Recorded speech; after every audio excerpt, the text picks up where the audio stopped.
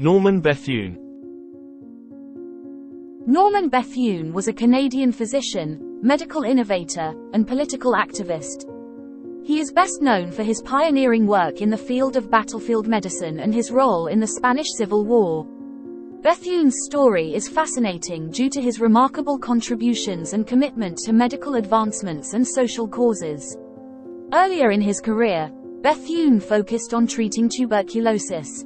He developed a technique called Bethune's rib cutter, which improved surgical access to the chest cavity for treating tuberculosis of the lungs.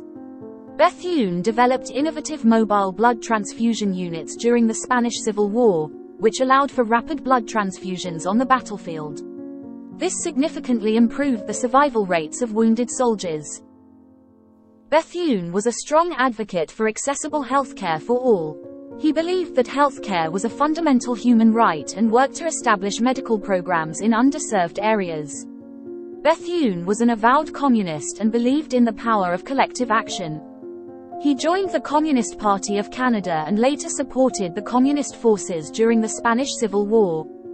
His commitment to both medical innovation and political ideals is a significant aspect of his story. Perhaps one of the most enduring aspects of Bethune's legacy is his impact on China.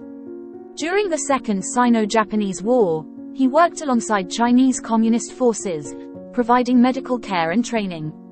Bethune was also a prolific writer, his letters, articles, and diaries provide insights into his medical work, his political beliefs, and his experiences on the battlefield.